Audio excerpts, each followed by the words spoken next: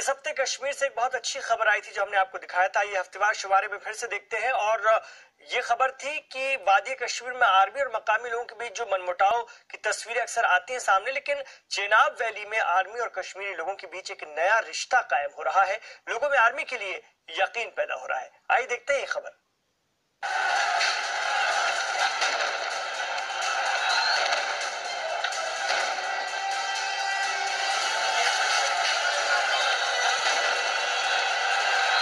جموں کشمیر میں فوج کے جن جوانوں پر لوگ پتھر برساتے ہیں۔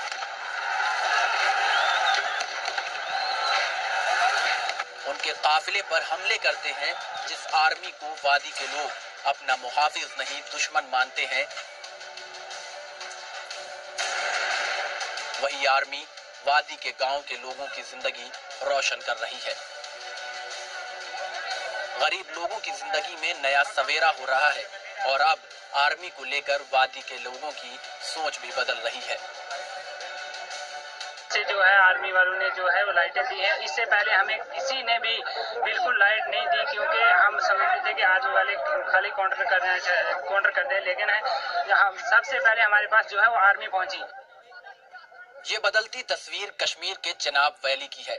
یہاں بسا چھوٹا سا شہر بھدروا جسے منی کشمیر بھی کہا جاتا ہے۔ بھلے ہی یہ علاقہ اپنی خوبصورت وادیوں کے لیے جانا جاتا ہو، لیکن آج بھی یہاں کئی گاؤں ایسے ہیں جہاں لوگوں کو بجلی کا انتظار ہے۔ بس اسی انتظار کو ختم کرتے ہوئے انڈین آرمی نے اندھیرے میں ڈوبے گاؤں کو اجالا کرنے کی مہم شروع کی ہے۔ دور دراز کے گاؤں میں بجلی پہنچانے کے لیے انتظامیہ جب ناکام رہی، آرمی نے روشنی پروجیکٹ کے تحت گاؤں کو روشن کرنے کا ذمہ خود اٹھایا۔ لوگوں کو سولر لائٹس باٹی تاکہ بھدروا کے لوگ کالی رات کے سائے سے باہر آ سکیں۔ جب انڈین آرمی کی راشٹری رائفلز نے چناب ویلی کے آس پاس کے علاقوں کے لوگوں سے بات کی، تو انہیں پتا چلا کہ دور دراز کے علاقوں میں بجلی پہنچی ہی نہیں ہے۔ لوگوں کو اندھیرے میں زندگی گزر بسر کرنی پڑ رہی ہے۔ آرمی نے ان گاؤں کی پہلے نشاندہی کی، جہاں زیادہ تر آبادی بجلی جیسی بنیادی سہولیات سے محروم ہے۔ پھر جوانوں نے کیمپ لگا کر گاؤں والوں کو سولر لائٹس باٹی اب تک جوان سترہ ہزار سولر لائٹس بانٹ چکے ہیں۔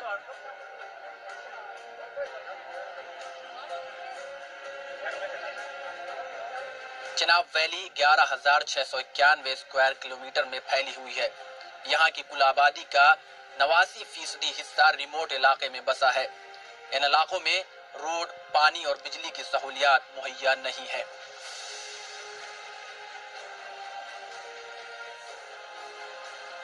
پانچ ہزار گھروں کو روشن کرنے کا ہدف لیتے ہوئے آرمی نے این جی اوز کی مدد سے باقاعدہ سروے کرایا اور اونچی پہاڑیوں پر بسے طبقے کو solar L E D lights تقسیم کی۔